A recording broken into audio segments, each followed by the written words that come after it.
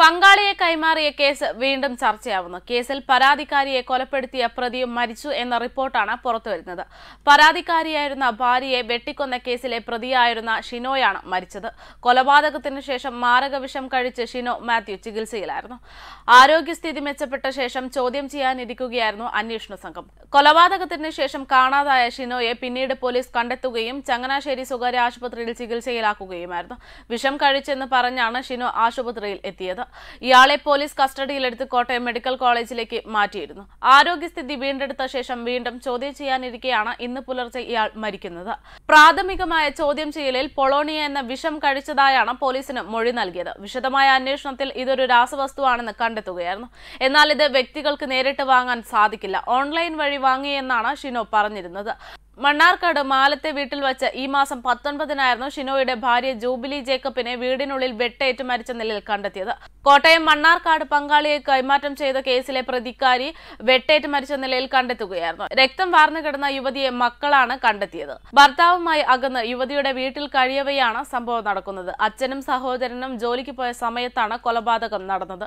പരാതിക്കാരിയുടെ മക്കൾ അക്രമ സമയത്ത് കളിക്കുന്നതിനായി വീടിന് പുറത്തു പോവുകയായിരുന്നു. പിന്നീട് ഇവർ തിരിച്ചെത്തുമ്പോഴാണ് രക്തത്തിൽ കുളിച്ചു കിടക്കുന്ന അമ്മയെ കണ്ടെത്തിയത്. തുടർന്ന് അയൽപ്പക്കത്തെ വീട്ടിൽ വിവരം അറിയിച്ച് ഇവർ വാർഡ് മെമ്പറെ വിളിക്കുകയായിരുന്നു. തുടർന്ന് പോലീസ് സംഭവ സ്ഥലത്തെത്തി. തുടർ നടപടി സ്വീകരിച്ചു എന്നായിരുന്നു റിപ്പോർട്ട്. യുവതിയുടെ ഭർത്താവാണ് അക്രമം നടത്തിയതെന്ന് നേരത്തെ തന്നെ പോലീസിൽ യുവതിയുടെ പിതാവ് മൊഴി നൽകിയിരുന്നു.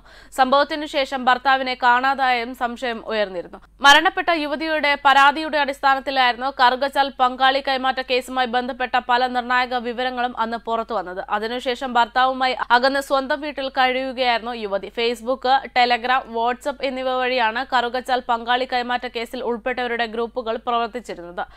Meetup Kerala couple meet Kerala cuckold Kerala real meeting തുടങ്ങിയ പേരുകളിലാണ് ഈ ഗ്രൂപ്പുകൾ അറിയപ്പെട്ടിരുന്നത്. ഇതിൽ അംഗമാകുന്നവർക്ക് ചിത്രങ്ങൾ അയച്ചു നൽകിയും സന്ദേശങ്ങൾ അയച്ചും പരസ്പരം പരിചയപ്പെടുത്തും. തുടർന്ന് പങ്കാളികളെ കൈമാറാൻ താല്പര്യമുണ്ടെന്ന് അറിയിക്കുകയും ചെയ്തു. എത്തിച്ചേരുന്ന സ്ഥലവും മറ്റും വിവരങ്ങളും സാമൂഹിക മാധ്യമങ്ങൾ വഴിയാണ് കൈമാറുകയും ചെയ്തിരുന്നതെന്നാണ് റിപ്പോർട്ടുകൾ. ആയിരക്കണക്കിന് പേരാണ് ഇത്തരത്തിൽ ഗ്രൂപ്പുകൾ വഴി അംഗങ്ങളായിട്ടുള്ളതെന്നും റിപ്പോർട്ടിലുണ്ട്.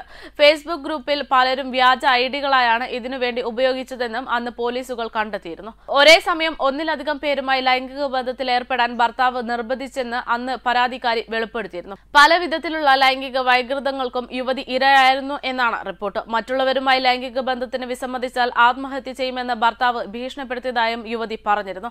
സംഭവം പുറത്തു പറഞ്ഞാലും താൻ ജീവനൊടുക്കുമെന്നും ഭർത്താവ് പറഞ്ഞു. ഇതിന്റെ ഭാഗമായി കഴുത്തിൽ കുരുക്കിട്ട ചില ചിത്രങ്ങളും ഭർത്താവ് യുവതിക്ക് അയച്ചു നൽകിയിരുന്നു. ഇതിന് പിന്നാലെയാണ് ഗതികെട്ട് യുവതി പോലീസിൽ വിവരങ്ങളെല്ലാം പറയുന്നതും ഭർത്താവ് ആത്മഹത്യക്ക് ശ്രമിക്കുന്നതും. ഇപ്പോൾ ആ ഭർത്താവും മരണപ്പെട്ടു എന്ന റിപ്പോർട്ടുകളാണ് പുറത്തുവരുന്നത്. News desk Karma news.